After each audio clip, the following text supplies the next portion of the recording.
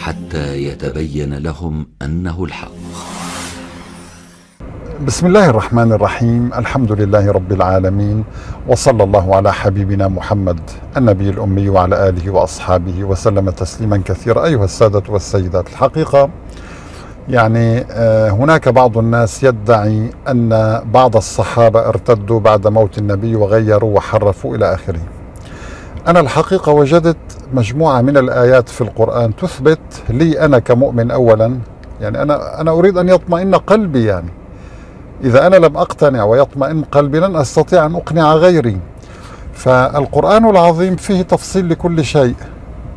وهذا السؤال الذي آه، بدأت أطرحه مؤخرا أين تفصيل أن الصحابة الكرام كانوا مؤمنين وماتوا على الإيمان وسيدخلون الجنة؟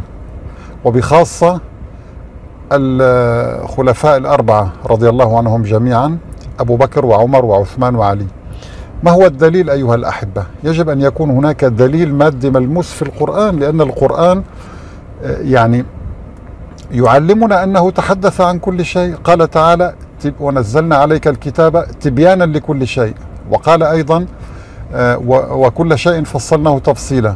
وقال أيضا ما فرطنا في الكتاب من شيء. إذا هذه آيات أحبتي في الله تثبت أننا إذا بحثنا عن أي معلومة أو موضوع يجب أن نجده في القرآن العظيم تماما.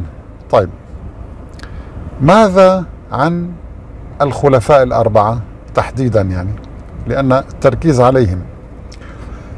في القرآن الكريم أيها الأحبة نحن نعلم أنه تحدث عن الهجرة أثبت هجرة النبي صلى الله عليه وسلم وأن قومه أخرجوه من مكة إلى المدينة. قال تعالى في سورة محمد وكأي من قرية هي أشد قوة من قريتك التي أخرجتك. أهلكناهم فلا ناصر لهم.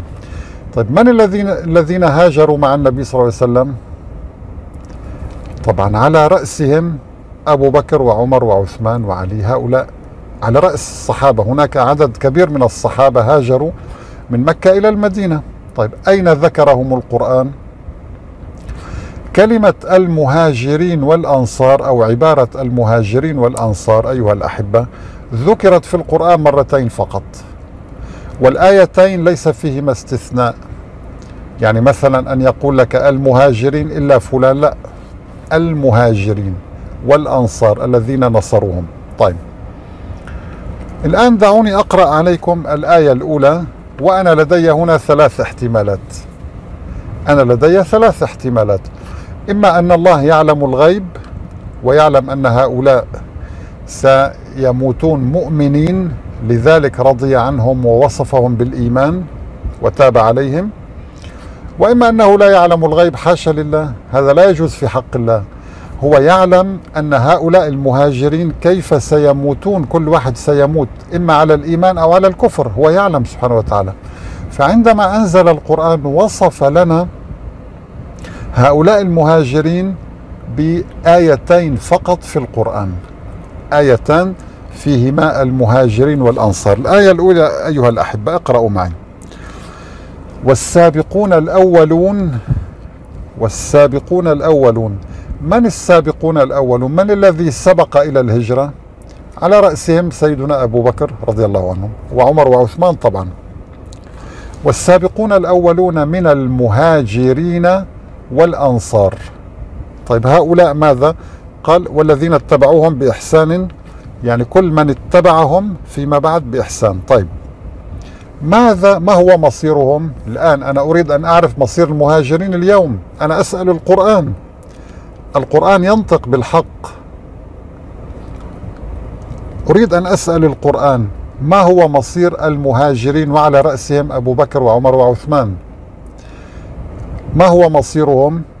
وطبعا الإمام علي وغيره من الصحابة. قال تعالى رضي الله عنهم. رقم واحد.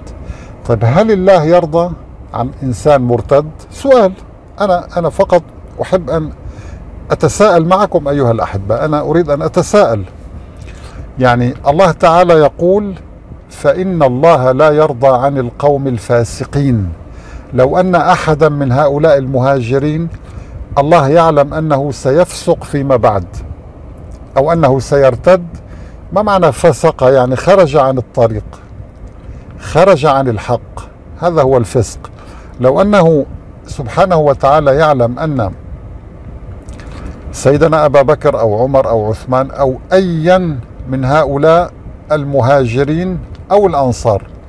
لو علم أن أحدا سيرتد أو طائفة ستفسق وترتد لا يمكن أن يكون أن يقول رضي الله عنهم على إطلاقها. سيقول إلا كذا مثلا.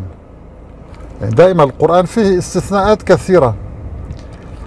يعني وإذ قلنا للملائكة اسجدوا لآدم فسجدوا إلا إبليس.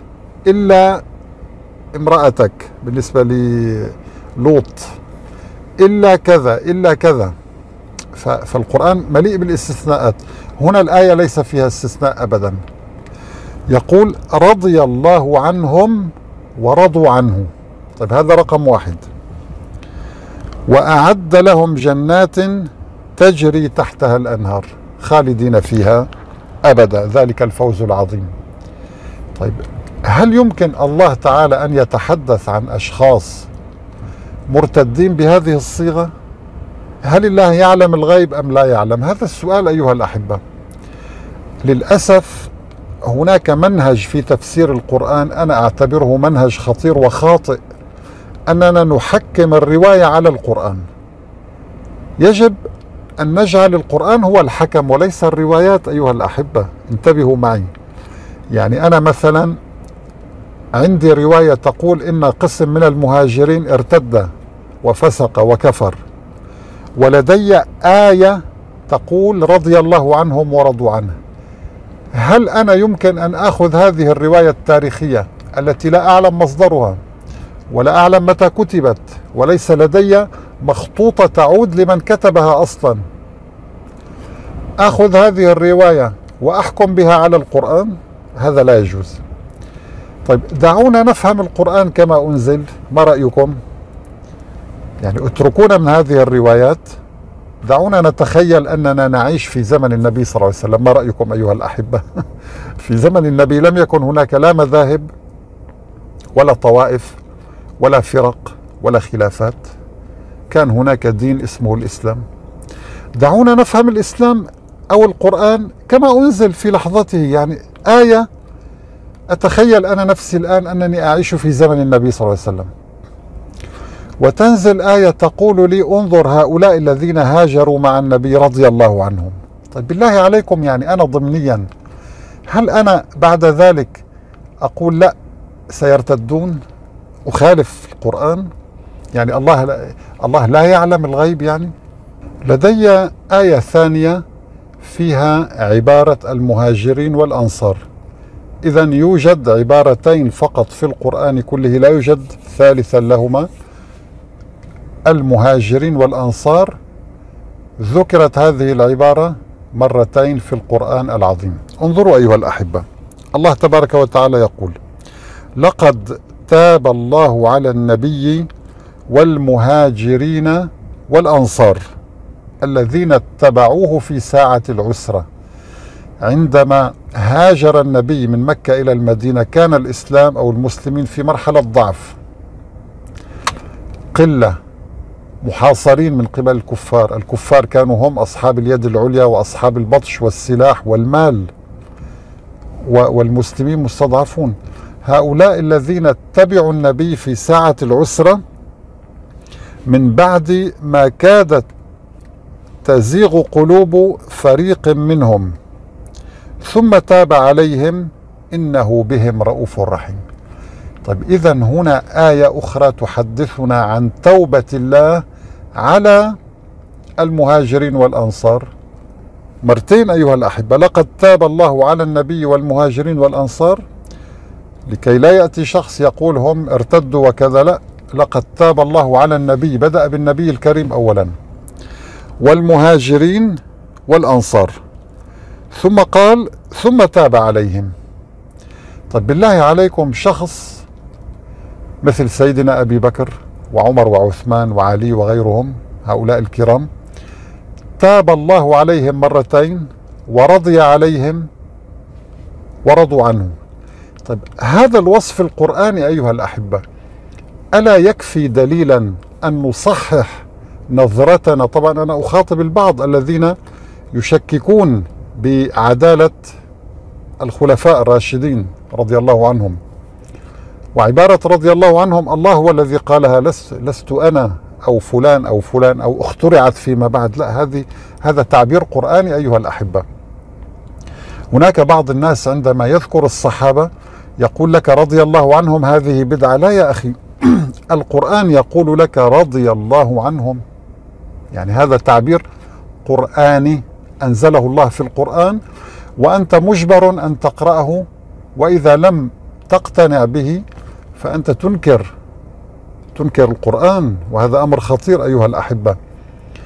لذلك هذا إثبات مادي على أن هؤلاء كانوا مؤمنين صادقين رضي الله عنهم وكل الروايات التاريخية ليس الأحاديث النبوية انتبهوا أيها الأحبة كل الروايات التاريخية يجب التي تخالف هذه الآية يجب أن نضرب بها عرض الحائط. كل الروايات التاريخية التي تخالف هذه الآية الكريمة وتقول إن هؤلاء الكرام ارتدوا أو ارتد بعضهم أو كفر بعضهم أو إلى آخره هذه ينبغي ينبغي أن نعيد دراستها نعيد قراءتها نعيد فهمها وننظر إلى إلى هذه الروايات التي تتناقض مع القرآن العظيم لأن الله عز وجل يعلم السر وأخفى. وإلا سنتهم الله عز وجل بعدم علم الغيب أو أنه لا يعلم ما يكتب ما ينزل. الله أعلم بما ينزل. إذا أيها الأحبة هذا أيضا إثبات مادي والقرآن مليء على فكرة. إذا تأملنا القرآن هناك عشرات الأدلة على صدق وإيمان الصحابة الكرام وبخاصة المهاجرين والأنصار. نسأل الله سبحانه وتعالى أن يعني يرينا الحق حقا ويرزقنا اتباعه وأن يرينا الباطل باطلا ويرزقنا اجتنابه.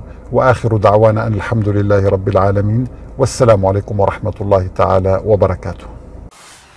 سنريهم آياتنا في الآفاق وفي أنفسهم حتى يتبين لهم أنه الحق.